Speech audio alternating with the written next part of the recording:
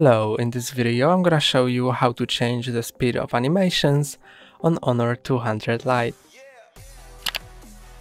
To change the speed of animations, first go to settings and then scroll down to about phone because you need to enable developer options.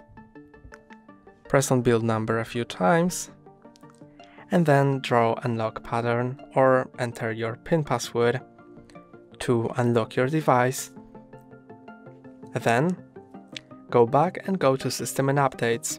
Here, go to Developer Options. And in Developer Options, you can scroll down to Animator Duration Scale, Window Animation Scale and Transition Scale. Now you can change the scale to off, 0.5, 1, 1.5, etc. Let's set it to 10 times and see how long it takes for the animation in this mode. You can also set it to times 2. Now it's a bit faster.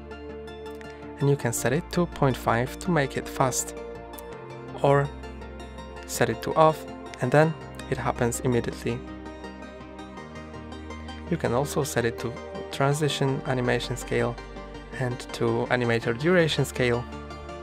And now you can see the animations are immediate. You, or you can go back to the default setting, which is animation scale 1x. And now you're in default settings. That's all for today. Don't forget to like and subscribe. See you next time.